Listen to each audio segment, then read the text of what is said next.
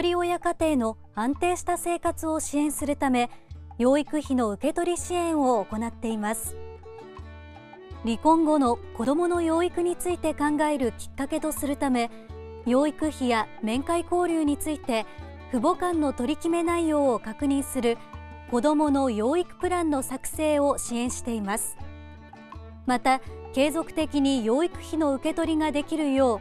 う債務名義となる公正証書等の作成時にかかる手数料などの補助を行っています。どちらの支援も事前にご相談が必要となります。離婚をお考えの方もまずはご相談ください。ご相談お問い合わせは子育て若者支援課給付担当03-5246-1232番までどうぞ。